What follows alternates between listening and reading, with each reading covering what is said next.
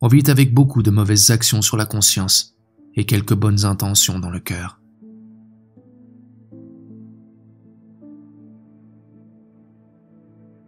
Le malentendu s'aggrave de jour en jour. L'adaptation à la réalité extérieure devient de plus en plus difficile. Ou bien au contact, la réaction est négative parce que la saveur est trop amère ou trop forte. La poigne de la vérité toujours trop rude. Ou bien, au contraire, il n'y a plus de sel dans le baiser. Tout est fade dans cette fausse étreinte avec l'esprit des hommes. Ils sont tristes, stagnants. Ils n'ont pas changé. Ils se sont usés. Ils s'aiment d'un égoïsme étroit qui rogne de jour en jour ses limites. Ils contemplent dans une attitude de grave méditation leur immuable nombril. Ils se soucient moins que de rien de la splendeur éblouissante de cette sphère de la vie que je voudrais atteindre.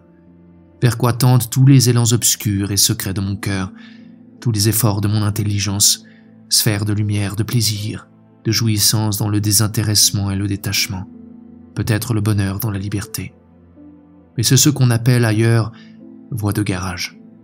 Quel intérêt présenterait un train, en effet, un train de vie, sans risque de déraillement?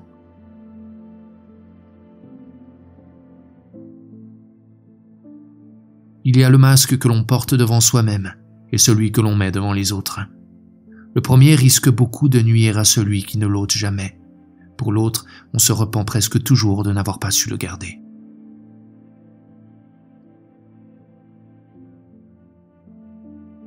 Un jour, c'est une claire goutte de temps, détachée de l'éternité. Il faudrait savoir boire toutes ces gouttes limpides, avec délice, une à une.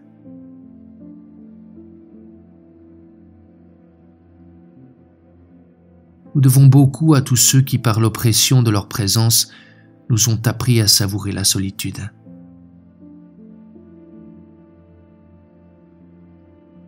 Y a-t-il au monde un autre être vivant qui exige autant de soins, d'efforts et d'artifices que ce dont l'homme a besoin pour être, à ses propres yeux, à peu près présentable?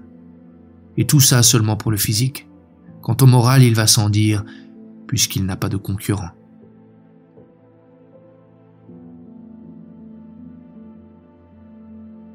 Prends garde, au coin de toi, à ce cuistre dangereux qui te guette.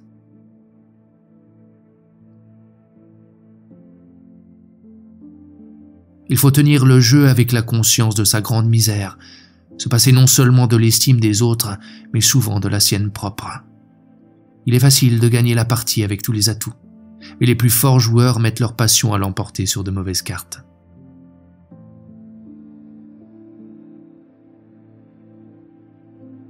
L'homme peut bien avoir quelques raisons de se plaindre s'il croit que le monde a été spécialement créé pour lui. S'il estime qu'il ne doit qu'à lui la conquête de son domaine, il ne peut s'en prendre qu'à lui-même de ne l'avoir pas mieux agencé.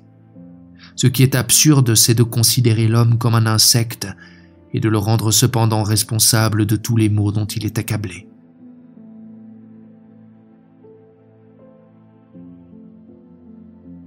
Au milieu de tant de misère, ni le cœur ni la raison ne trouvent leur compte dans l'hypothèse que la création puisse être une preuve d'amour. Et il n'est pas d'amour définissable sans preuve. Sans les actes, ce n'est que la plus grande illusion, supportée par un mot des plus courts.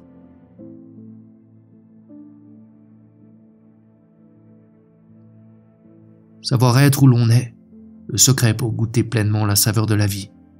Savoir ne pas être où l'on est, le secret pour alléger les amertumes de la vie.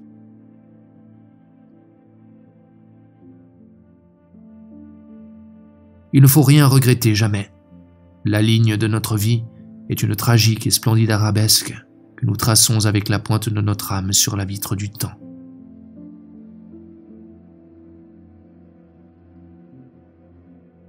Le présent est fait de déformations du passé et d'ébauches imprécises de l'avenir. Et quoi qu'on fasse, le présent n'est jamais qu'une vaste et bruyante fabrique de passé. Quand on revient sur ses pas, on retrouve tout immobile et ordonné dans le silence.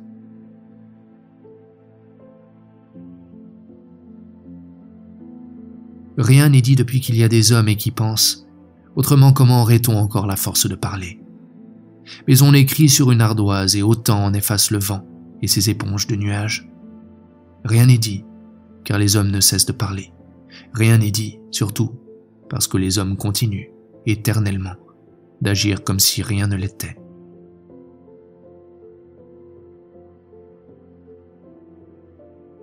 L'homme est acculé peu à peu dans ses retranchements. Il ne peut plus mettre au jour que les tréfonds.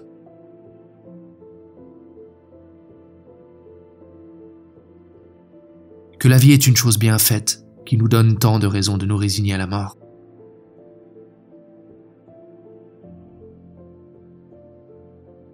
Gagnons du temps, gagnons du temps. Nous aurons tout le loisir ensuite de nous sentir nous-mêmes perdus.